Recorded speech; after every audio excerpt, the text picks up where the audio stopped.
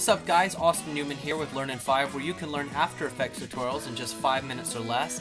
Today we're going to be learning how to do the classic Sam Kolder transition. This is usually done with a Luma fade, but today I'm going to be showing you how to do it with another technique that makes it a little bit sharper. In classic fashion, let's jump right in.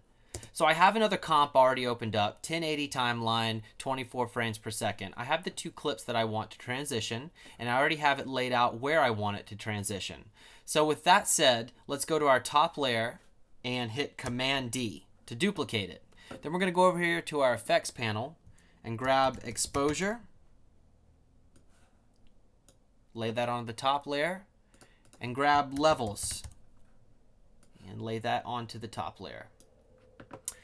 So in levels, we're going to take these two points right here and move those a little bit closer to the middle. The point of this is to blow out the background while still keeping the blacks pretty much intact. So you see here, you don't want to crush the blacks too much. So the next thing we're going to do is we're going to go down here to track matte. And if you don't see this, go down here to toggle switches and modes and switch it. Go to Luma inverted matte. And we're going to go over here to exposure at the beginning of our transition. And we want to make sure that full clip shows up. For me, it's about two point, let's go ahead and do negative 2.7 just to make sure.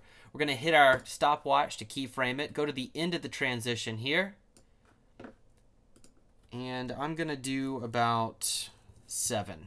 I think that should close it out for me. And that is how you do the transition. You'll want to play around with it. You'll want to lengthen it and change it around a little bit to your own taste. So the only difference in my footage is that I threw a LUT on it called Retro Cine Citrus. It's a LUT that I just released the other day, and it is available in the link in the description. I've been Austin Newman. You can find my work on Instagram at Austin Makes Films. Thanks for watching this video. Make sure to subscribe if you learned anything. Give us a big thumbs up. Tell all your friends, and go ahead and send me some suggestions for some more stuff you want to learn. And until next time, guys, we'll see you later.